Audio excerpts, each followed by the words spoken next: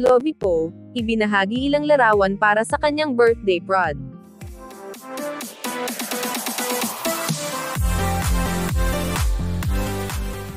Ibinahagi ng aktres na si Lovey Po ang mala Miley Cyrus na tema ng kanyang mga retrato para sa birthday prod.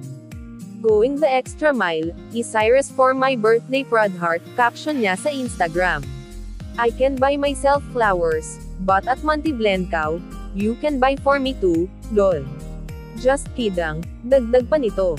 Nagdiwang ang aktres ng kanyang kaarawan nito lamang Sabado ikalabing isa ng Pebrero.